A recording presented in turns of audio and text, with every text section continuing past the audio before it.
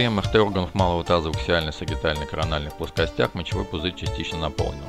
Стенки его ровные, гладкие, равномерные, не утолщены без дивертикулов. В просвете пузыря участок логической интенсивности сигнала не определяется.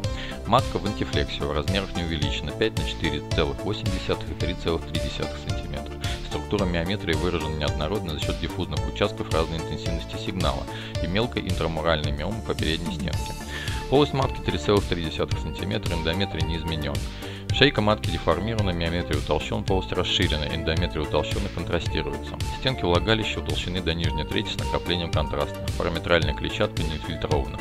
Правый яичник с четкими контурами 49 на 23 мм расположен обычно, содержит фолликулы и эндометриозные кисты 13-17 мм. Левый яичник расположен обычно 22 на 13 мм, содержит фолликулы, доминирующие 6 мм. Параректальная клетчатка без патологических изменений. Свободная жидкость в дугласовом пространстве в незначительном количестве. Патологические образования не определяются. Увеличенные лимфатические узлы в полости малого таза вдоль стенок с обеих сторон.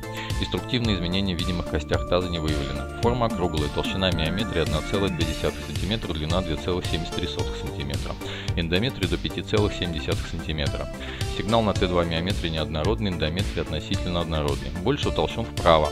Граница эндомиометрия нечеткая. Отмечается слабое накопление контраста. Контур шейки ровный и четкий. Толщина стенок влагалища 5-8 мм. Лимфоузлы до 2 см, контраст не накапливает, структура не изменена. Заключение. Аденомиоз. Лимиома по передней стенке 3,5 мм. Кисты правого яичника. МР-картина подозрительно на рак шейки матки.